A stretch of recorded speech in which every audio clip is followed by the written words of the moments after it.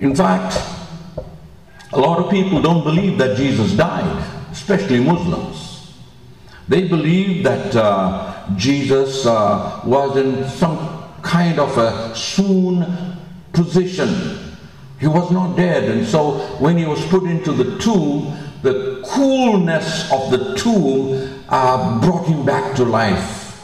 And, uh, and then I'd like to know how he pushed the in that state, how he pushed that mighty stone away that some historians tell us to take at least 20 people to push. And uh, how did he get out? And uh, well, that's what some of them believe, but we don't believe that. You see, after the trial of Jesus, he was found guilty of blasphemy for claiming to be God. John 19 and verse 1 says, Then Pilate took Jesus and had him flogged. A medical expert named Truman Davis studied what this involved and concluded that this brutal beating inflicted on Jesus brought him really very close to death. And that is why he could not even carry his cross. That's how brutal the was. Jesus was tied to a post and beaten at least 39 times, probably even more, because these Roman soldiers really didn't know how to count. They had a whip that had jagged bones and balls of uh, lead woven into it. And again and again, this whip was brought down on the back or the legs, on the body of Jesus. At first, these heavy tongs cut through his skin only. But as the blows continued to cut deeper, tissues, blood vessels, whatever you can imagine was just opened up he was a bloody mess. If you saw corrugated iron, then it would give you a little idea of how his back looked. The balls of lead produced deep, deep bruises which really broke into uh, his blood vessels. By the end, the skin of his back was left hanging in long ribbons, and the entire area was unrecognizable a mass of torn, bleeding tissue. One witness to a Roman flogging wrote, the sufferer's veins were laid bare, and every muscle and tendon and bowels of the victim were open to exposure. Undoubtedly, Jesus was in a very serious, critical condition even before the crucifixion began. It's no wonder he was unable to carry his cross. Then five to seven inch spikes were driven into his wrists, breaking his nervous system and the bones. I don't think we really understand what painful really means. And because of such excruciating pain, well, we got the word excruciating simply because it's a word that was coined to describe out of the cross. And so when we say excruciating pain, it's from the original Latin, which really means pain out of the cross. That word didn't exist before that. And so Jesus endured pain that we can never really understand. His wrists and feet were nailed securely, and he was hoisted up into the air.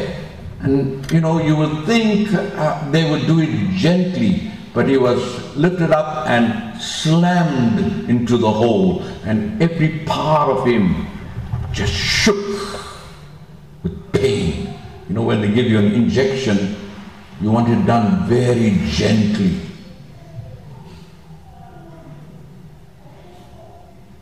Because the pain is so bad. Imagine this. Crucifixion is basically a slow death by suffocation. Because as the body weighs down, you need to you need to breathe. And in order to breathe, you've got to lift yourself up. And it was the most excruciating time that Jesus went through if a Roman wanted to hasten death, they used a small mallet to shatter the victim's shin bones so he could not push up anymore. If you can't push up anymore, then you die faster. But as the scriptures tell us, that they came to Jesus and he was already dead. So they didn't have to break his bones. Nobody came down from a cross alive. Not even Jesus. And so, for those people that say that Jesus didn't die, they don't know what they say. Nobody, absolutely nobody, came out of that experience alive. In fact, think about this. Even if you want to believe that, think. Here's Jesus somehow. If he survived the cross, even if he escaped the huge boulder that was pushed against the opening of this enclosure, the mouth of the tomb, here he was soaked in 75 pounds of spices. And we have the very best of guards standing outside watching. Think of the condition he must have been in when he appeared to his disciples. He wouldn't have inspired them with confidence, would he? And got them all excited about receiving that kind of resurrection body someday. He wouldn't have prompted them to triumphantly declare to his people the glorious return and launch a worldwide movement. If all of this was a lie, they would have been horrified and sickened by his bloody and broken condition. So much so that they would have pitied him and gotten him a doctor. So the evidence before us clearly refutes the swoon theory which, by the way, people often bring up, but no reputable scholars would believe. And so, let's look at the affirmative evidence for the resurrection. Let's try to summarize it with just three E's. The first E stands for early. It's important to reiterate the account of Christ's death burial, and resurrection and date that back very early.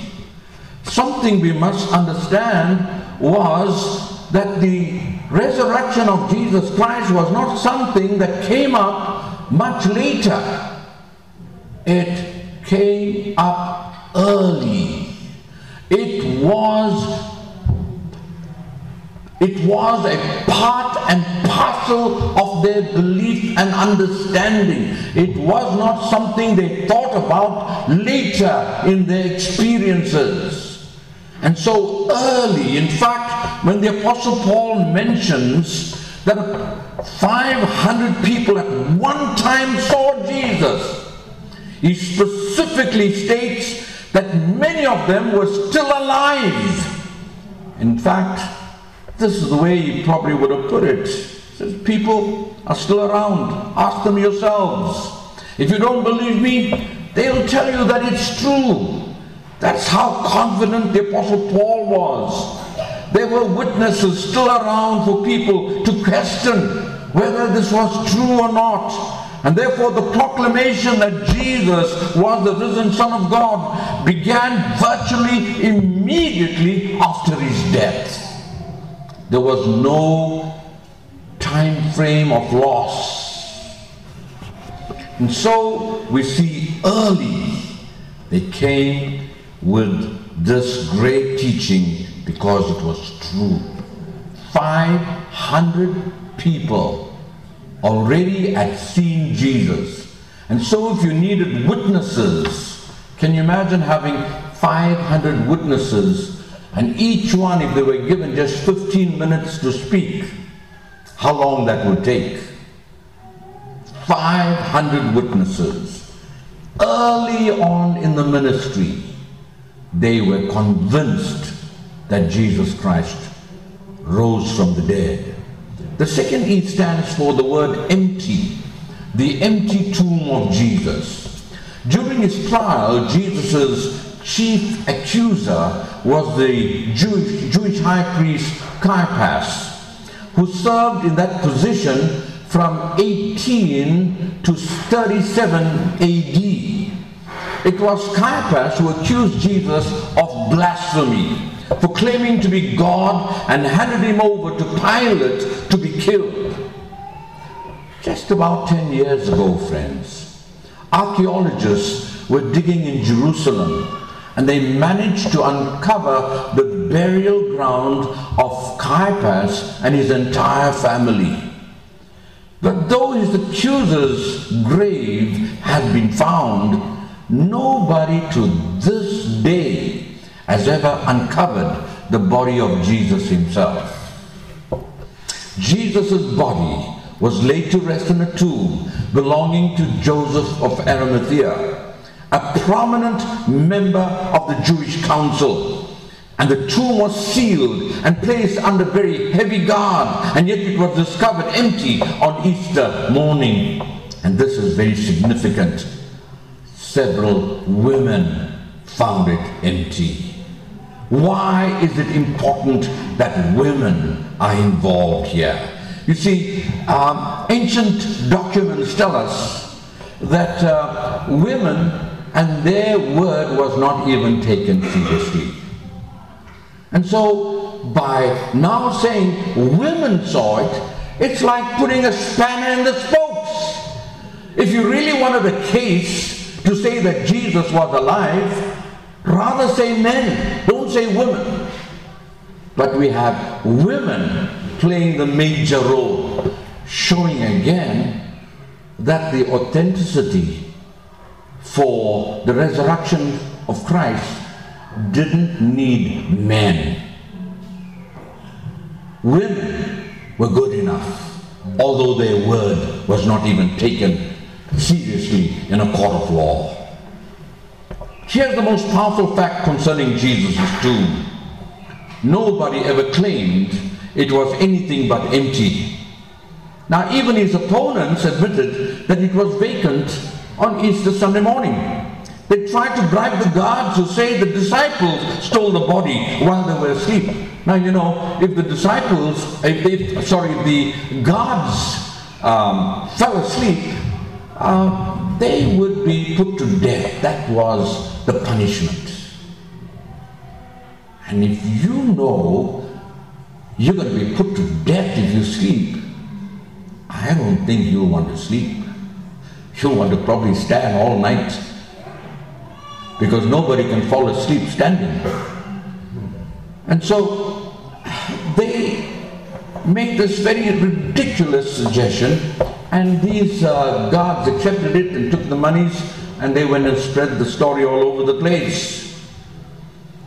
Besides that, how would the guards have known it was disciples that stole the body if they were asleep? If you're asleep, you don't know who stole it. You see, that's how the insurance companies catch people out. Because they say, no, somebody came in the night, I think it was my neighbor. If you were asleep, how do you know it was your neighbor?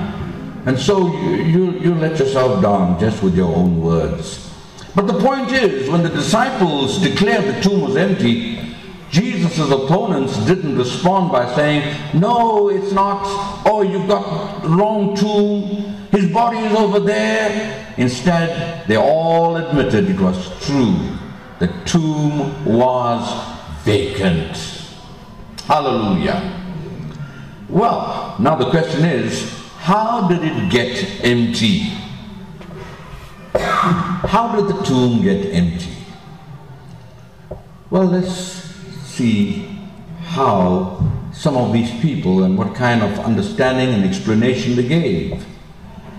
The Romans could not have taken the body simply because they wanted Jesus dead. The Jewish leaders wouldn't have taken the body. They wanted him to stay dead. So they weren't going to touch the body.